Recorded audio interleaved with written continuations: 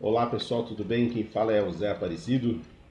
Hoje a, a nossa campanha é uma, uma campanha, vamos dizer assim, uma paródia e ao mesmo tempo uma coisa muito séria.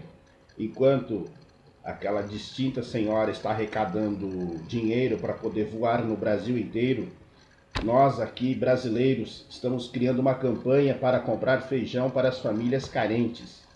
Se você é, concorda com esse projeto, leia o texto aqui embaixo, leia, veja o link e venha nos ajudar a compartilhar.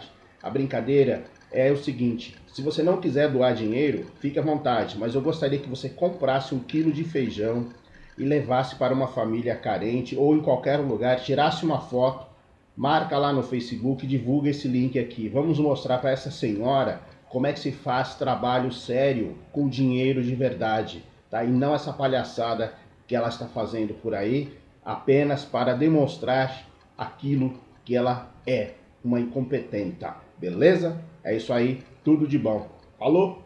Se você não puder compartilhar, doa. Se você não quiser também, não doa. Mas leva essa brincadeira adiante. Vamos fazer essa, essa bagunça de uma forma ordeira, tá certo? Um abraço para você. Chupa essa manga.